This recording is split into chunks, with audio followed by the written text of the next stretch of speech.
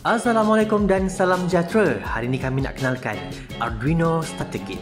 Ini kit original ya, bukan compatible.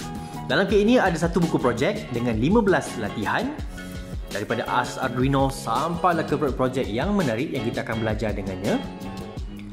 Yang paling penting kita ada Arduino Uno R3 original Arduino board untuk belajar Arduino set jumper wire dan breadboard paparan LCD bersaiz 16x2 dengan parallel port, USB cable type AB, set servo motor dan juga DC motor. Ini dia set komponen elektronik.